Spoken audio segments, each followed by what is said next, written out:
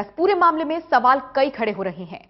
सवाल ये कि आखिर पढ़े लिखे लोग ऐसी मानसिकता के शिकार कैसे हो सकते हैं? सवाल ये कि आखिर रेप जैसे जघन्य अपराध को अंजाम देने से पहले इन लोगों की मानसिकता क्या होती होगी? रिपोर्ट देखिए।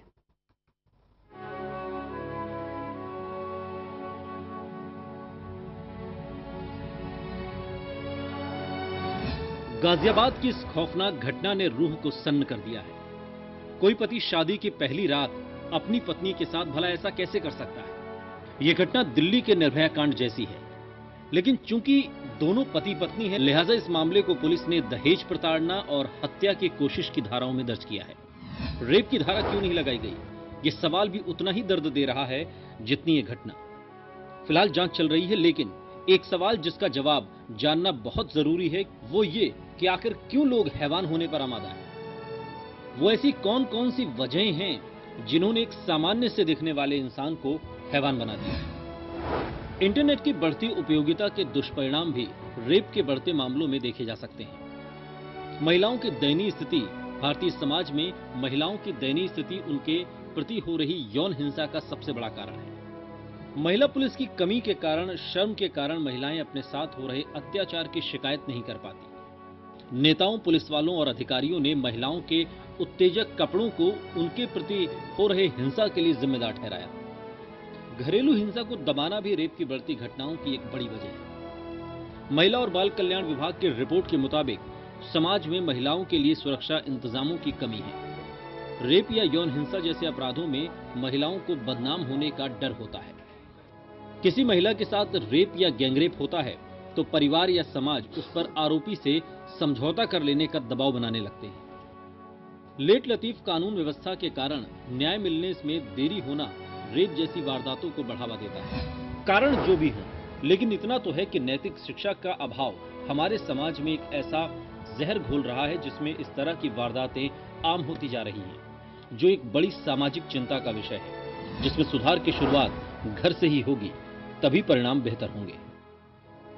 स्पेशल डेस्क टोटल न्यूज़ इस मामले ने सभी को हैरान और परेशान कर दिया। जिसने भी सुना, वही इसे सुनकर विचलित सा हो गया। आखिर क्यों और कैसे पनप रही है ये विकृत मानसिकता जो इंसान को जानवर बना रही है? सामाजिक और मनोवैज्ञानिक दृष्टिकोण से समझने की कोशिश करते हैं।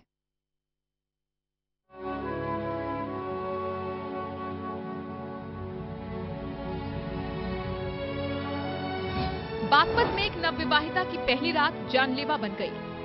सुहागरात में उसके पति ने जो क्रूरता दिखाई, उससे मानवता भी तार तार हो गई। इस घटना को सोचने भर से ही रोंगटे खड़े हो जाते हैं। इस विकृत मानसिकता के पीछे का मनोवैज्ञानिक सच क्या है? सुनिए। ऐसे मामले बहुत समय से होते हैं, तभी हमारी किताबों के अंदर लिखा हुआ है। WHO भी इनको पैराफिलियस की संज्ञा देती है कि विकृत मानसिकता की संज्ञा देती है। पर इसकी एपिडेमिक की पहुँच कितनी है ये बता पाना बड़ा मुश्किल है। है तो अच्छे भले पर अक्सर डर के कारण सामाजिक प्रेशर के कारण ये चीज़ें सामने नहीं आ पाती हैं। अगर आप देखें कि पोस्को एक्ट भी बनाया क्योंकि कहीं ना कहीं चाइल्ड अब्यूज़ होता है। अब चाइल्ड अब्यूज़ के मामले बहुत कॉमन हैं। वो अक्सर जान पहचान वाले लोग करते हैं। तो माँ बाप शर्म के कारण बाहर नहीं निकलते, या बच्चा डर के कारण नहीं निकलता, वो डरा सहमा रहता है, या कई बार ये डर होता है कि लॉ की तरफ़ से इनेक्शन होगा। कई बार ऐसा भी डर हमने लोगों के अंदर देखा है। ये घटना हैरान इसलिए भी करती है क्योंकि आरोपी कोई मानसिक रोगी नहीं, बल्कि एक पढ़ा लिखा पेशेवर शिक्षक है। यानी विकृत प्रवृत्ति एक झटके में आपको इंसान से जानवर बना देती है। मोस्ट प्रोबेबली वो कहीं ना कहीं इन्फ्लुएंस्ड है इन पॉन साइड से और उसे लग रहा है कि ऐसी चीज़ करने में ज़्यादा मज़ा आएगा। कुछ अलग से करूँगा तो ज़्यादा मज़ा आएगा। एक तो वो सीकर ऑफ़ प्लेजर हो गया इस हम्म। तरीके से पर उसकी मानसिक स्थिति ठीक नहीं है दूसरे तरीके से भी कि अगर ना कह दिया तो वो कॉमन एडजस्टमेंट तो आना शुरू हो नहीं मेरे को करना ही इसी तरीके से अगर नहीं करेगी तो मैं तेरी जान भी ले लूँगा। तो ये बिल्कुल एक्सट्रीम की मानसिकता दिखाई देती है कि जो कि एक बीमारी है। और सर जो पीड़िता है जो इस दौर से गुजरी है जिसने ये दर्द झेला है उसकी क्या स्थिति है? आप किस तरह से देख रहे हैं? ये तो स्वाभाविक है कि जिसने इतना दर्द झेला है तो उसकी मानसिक स्थिति बिल्कुल भी ठीक नहीं होगी। वो बहुत भयावह है डरी हुई होगी। कितने सपने देखते हैं हम शादी के बाद कि हमारे साथ ये होगा वो होगा और पहली ही रात पे इतना दर्दनाक वाक्य हम्म। हो जाए तो वो बहुत ही डरी सहमी होगी। आधुनिकता के चोले में पनप रहा विकृत मानसिकता का मैल इकट्ठा कर रही है। मनोवैज्ञानिकों की माने तो संस्कार को धूमिल कर रही है आधुनिकता। टीवी और इंटरनेट पर परोसी जा रही अश्लीलता, इसकी मुख्य वजह है। अननेचुरल सेक्स भी बहुत कॉमन है। ये कॉमन पहले भी था और अब और बढ़ता जा रहा है। जैसे कि जैसे पॉन की जो हमारी पॉन इंडस्ट्री है उसकी पकड़ समाज के ऊपर बढ़ती जा रही है। हम आसानी से पॉन डाउनलोड कर लेते हैं पढ़ लेते हैं व्हाट्सएप पे फैल जाता है। तो उसके अंदर जब ऐसी चीज़ें दिखाई जाती हैं तो वो एक एडवेंचर का नियम ले लेती है कि कुछ लोगों के अंदर कि कुछ तो अलग से हो कुछ तो अलग से हो तो इस तरह से ये विकृति कई बार डेवलप हो जाती है।